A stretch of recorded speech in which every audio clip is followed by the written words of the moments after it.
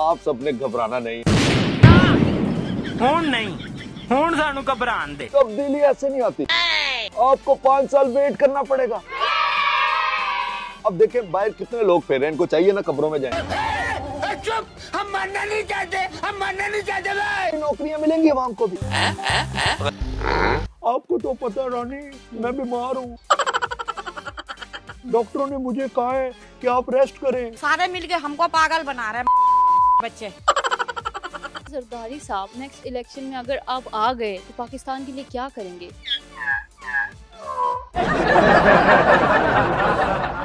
Mega news की videos देखने के लिए हमारा चैनल सब्सक्राइब कीजिए और बेल आइकन पर क्लिक कीजिए ताकि आप हमारी तमाम आने वाली वीडियोस से बाखबर रह सकें।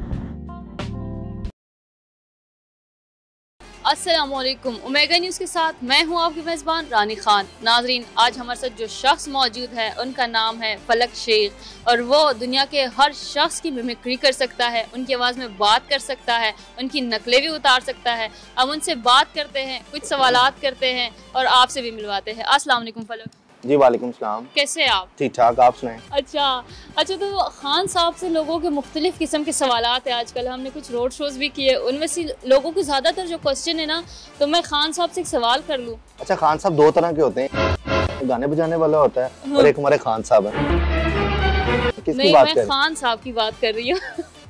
जो हमारे खान साहब है, उनसे लोगों का एक कॉमन सा सवाल, लोग सारे कहते हैं कि खान साहब, हम कब घबराना शुरू करें? आपने कहा था घबराना नहीं है। ओ, मेरे पाकिस्तानी मैं कह रहा हूँ। देखे, मेरी बात सुने, रानी।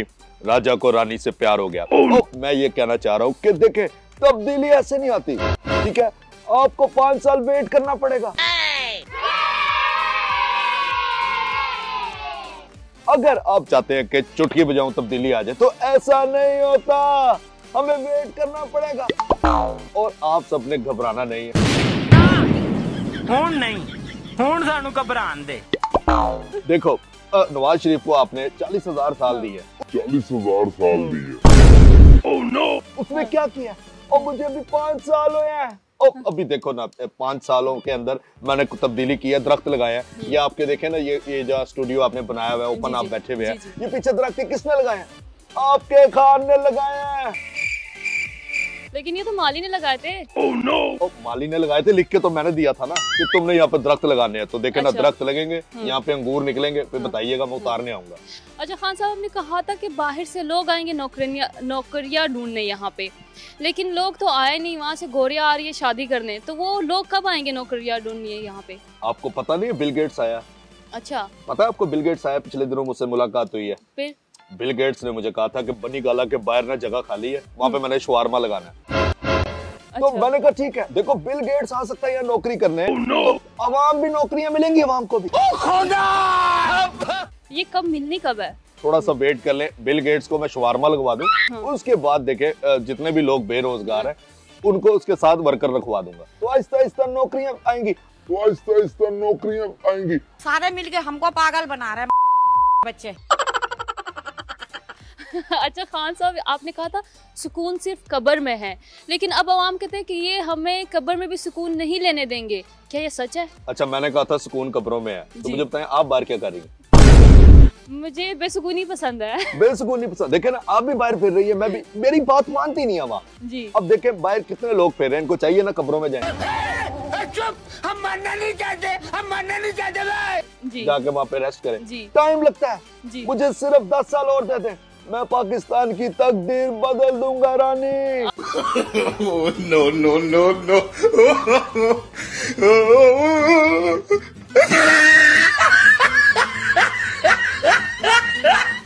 नाजरीन ये तो हो गई हमारे खान साहब से बात। हम अब बात करेंगे शहबाज शरीफ साहब से। अस्सलाम वालेकुम सर। जी वालेकुम सलाम। क्या हाल है लड़की तुम्हारा? मेरा तो हाल ठीक है सर। आपका क्या हाल है? मैं बिल्कुल ठीक हूँ। इंजॉय कर रहा हूँ लाइफ को और खिंच के रख रहा हूँ वाइफ को। सर ये आपने कहा पोजीशन में पीपल्स पार्टी के साथ लेकिन आजकल झुका भी जा रहा है इस्लाम किए जा रहे मुलाकातें की जा रही क्या मामला है ये? देखिए बात ये है खान साहब ने पेट्रोल का रेट कहाँ कर दिया है? जी। यकीन करो मेरे ड्राइवर मेरे बच्चे सब परेशान है।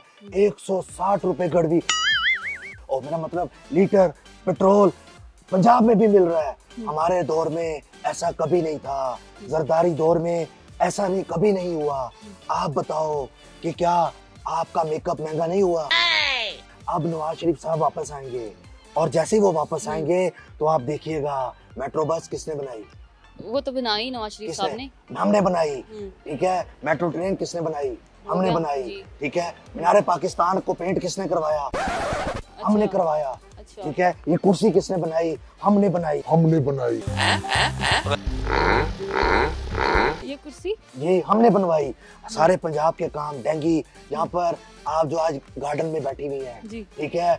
आज से साल पहले जब आप गार्डन में बैठती थी तो यूँ यूँ करती थी मच्छर मारती थी। अब वो डेंगी कहाँ पे है मुझे बताएँ?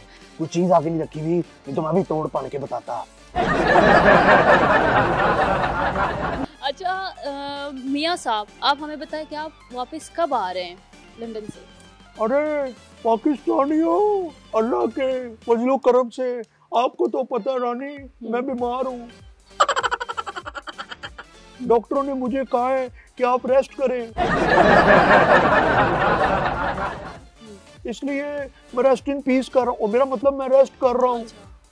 लेकिन खान साहब चाह रहे हैं कि आपको वापस लाया जाए। वो कह रहे हैं आपकी तबीयत नहीं है खराब। आपकी तबीयत कैसे कब आएँगे कब ठीक होगी ये तबीयत? अरे रानी क्या डॉक्टर झूठ बोल रहे हैं? मेरे तुम्हें पता है कौन कौन सी बीमारियाँ मुझे लग गई हैं? हम्म, मेरे मेरा जो गिटा है ना गिटा उसके सर में दर्द है। हैं? ये बीमारी है। पाकिस्तान आने का वैसे इरादा कब है आपका? लेकिन जब मैं पाकिस्तान आता हूँ मुझे जेल में डाल देते हैं। हम्म। मुझे बताओ क्यों निकाला मुझे? क्यों निकाला मुझे? अच्छा जरदारी साहब अब हमें ये बताइए कि नेक्स्ट इलेक्शन में अगर आप आ गए तो पाकिस्तान के लिए क्या करेंगे? देखिए पाकिस्तान एक सॉवरेंट कंट्री है और जमहूरियत का हुसैन यही है।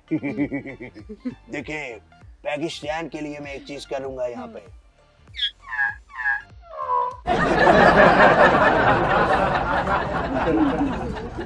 ये सिर्फ़ मैं ही कर सकता हूँ। अखा मुंबई में अपन का राज चलता है। नाजीन अब हम आपको मिलवाते हैं शेख रशीद साहब से। ये लोगों के फेवरेट भी है और इस पे लोग सुनना भी चाहते हैं। शेख साहब आपकी शादी कब होनी है? देखिए आप मान जाए तो अभी कर लेते हैं। नहीं मैं तो नहीं मानती। लेकिन बात यह है कि मसला एक चीज़ है कि शादी करने वाला बंदा जो है ना वो काम नहीं कर सकता। ठीक है? जो इंसान कमाता है वो बीवी खा जाती है। देखिए मैं नहीं चाहता कि मेरी कमाई जो है मेरी बेगम का है जी। तो बात इतनी सी है कि अपना प्यार बिलावल के साथ ही ज़रूर चाहते हैं कि मैं बिलावट के साथ खाम का दिल लगी करूँ। आप मुझसे मोहब्बत का इजहार किया करें ऐसे सवाल ना किया करें कि मैं फंस जाऊँ। इंशाल्लाह ताला अगली हुकूमत हमारी है। और आपको मैं बताऊँगा कि पाकिस्तान की साहब जरा जल्दी बोला करें।